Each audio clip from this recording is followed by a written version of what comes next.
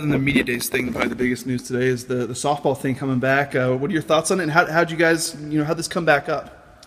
Uh, we're definitely really excited about it. Everyone's pumped up. Um, kind of get the offense and defense little rival, rivalry game, and uh, you know hopefully raise some money for uh, the women's center here at Boise State and some scholarships. So were you there a couple years ago when Bo Martin hit the, the walk-off jack? I wasn't there. I wasn't there, but uh, heard about it. Heard it was pretty fun, and uh, can't wait to get out there. What, do you, uh, what, what about your squad here? I don't know which. If you, I don't know if you get special teams or what, but what do you make of the, the offense's chances here? Uh, I just made the lineup today. really excited about it. Um, you know, hopefully we can schedule some batting practice before.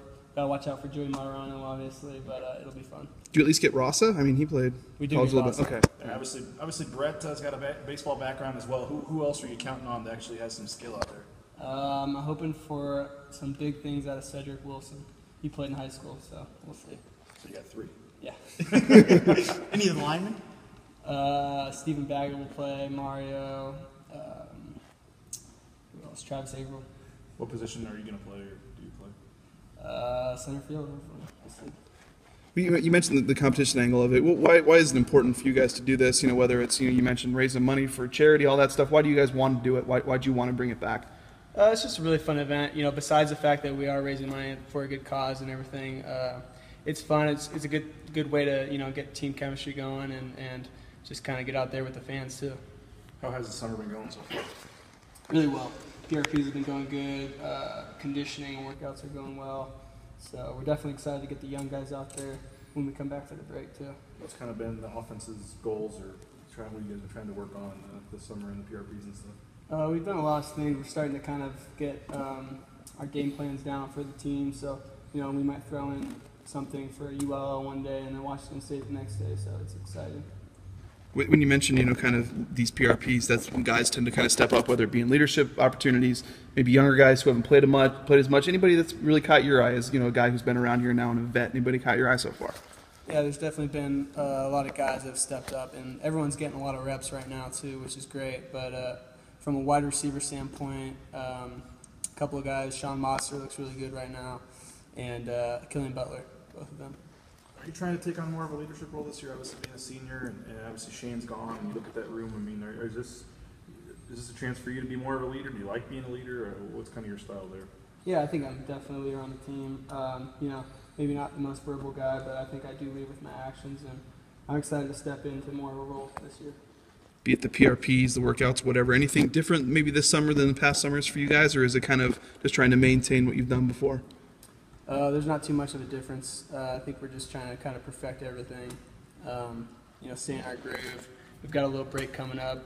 Um, you know, everyone needs to stay in shape and, and come back the same way we left. Talking to Brett after the spring game, said, "What's going to motivate you this summer?" And he said, nine and four. I mean, what, what have you kind of have you mo- noticed a, a motivated uh, group this summer in the workouts and stuff, trying to trying to get back to the elite level there? Yeah, everyone's definitely a lot more motivated. Um, you know, nine and four kind of says it all, so that's a pretty good way to put it. What was you know you know for you? I mean, we mentioned- what you're working on and all that stuff. How how can you try to take a step up? Obviously, last year in a lot of ways, you know, one of the better years receivers ever had here at Boise State. What what how, how do you try to top that in, in your own mind? Um, I don't know about top it. I think it's just more about seeing what I did last year and trying to, you know, do whatever I need to do to help the team this year, which might be a different role, might be something else. I don't know. Is that what you're willing to do? I mean, obviously, people are going to be focusing on you, and of course, Brett has a good rapport with you. But is that something you're willing to do? I mean, whether it is altering whatever that whatever it might be, you know, are you willing to do that? Yeah, I think you know everyone on the team just wants to win, no matter what it's going to take, and everyone on the team is willing to sacrifice whatever they need to, to do that. And we mentioned, you know, Brett being out there. Obviously, I know he was out quite a bit last, you know, last summer, but it's probably a little different now. He's coming in as the guy at quarterback now, with obviously Finley gone. What, how, how has he done out there, you know, as, as a quarterback, kind of leading things for you guys? Yeah, he's definitely stepped up as a leader. Um, he's kind of running the whole thing right now, so it's definitely good to see.